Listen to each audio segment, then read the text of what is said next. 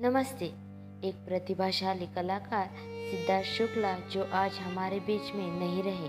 वो अपने बेहतरीन काम और हाजिर जवाबी के लिए जाने जाते थे।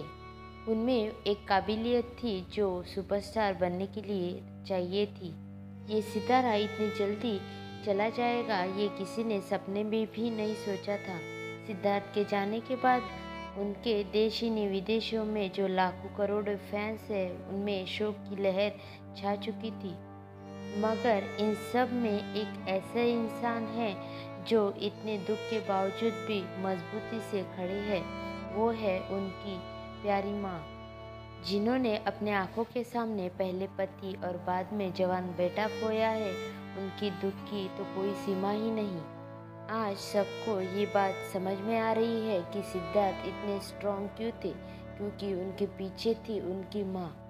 सिद्धार्थ के जाने के बाद बहुत से सेलिब्रिटीज़ उनकी माँ से मिलने गए तो उनका कहना था, राहुल, जब उनकी माँ से मिले तो उन्होंने कहा कि आंटी ने बताया, बेटा हमेशा सुना था कि किसी का जवान बेटा चला गया, किसी का जवान बेटा मर गया। कभी सोचा नहीं था कि हमारे साथ ऐसा होगा।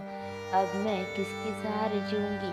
मेरा सब कुछ खत्म हो गया। लेकिन फिर भी ज़िंदगी है, जीना तो है ही। राहुल बताते हैं कि उनकी माँ बहुत ही स्ट्रांग है और अपने इतने बड़े दुख के बावजूद भी उन्होंने लोगों को अपनी हेल्थ का पर ध्यान देने की गुजारिश की है।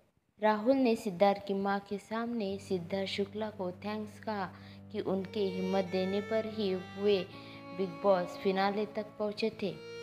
सिद्धार्थ की माँ उनकी एक एक याद पर रोती है और वे कहती है कि मुझे अभी भी यकीन नहीं हो रहा है कि सिद्धार्थ हमारे बीच में नहीं रहे, क्योंकि उनको अभी भी ऐसे ही लग रहा है कि जैसे कि सिद्धार्थ कोई शूट पे गए हैं और थोड़े ही दिनों में वो लौट आएँगे। सचमुच, सिद्धार्थ की माँ की ज़िंदगी में जो कमी आई है, जो अंधेरा छाया है, वो शायद ही कभी कम होगा। सिद्धार्थ के अंतिम समय में हमने सबने टीवी पर देखा कि वे अपने हाथों में मोबाइल पकड़े हैं, लेकिन सच बात तो ये है कि उस फ़ोन में उन्होंने सिद्धार्थ की अंतिम तस्वीरें ली थी और वही उन्होंने अपने सीने से लगाई है। सिद्धार्थ के जाने से उनकी माँ कितनी टूट चुकी है, वो आप इन तस्वीर से अंदाज़ा लगा सकते हैं। इतने दुख के बावजूद भी वो कितनी हिम्मत से खड़ी है, इसका अंदाज़ा लगाने के लिए ये एक उदाहरण ही काफ़ी है।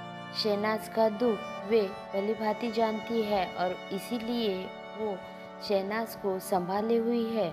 शहनाज अभी भी सिद्धार्थ के घर ही में रह रही है और उनकी माँ ही उनको संभाल रही है।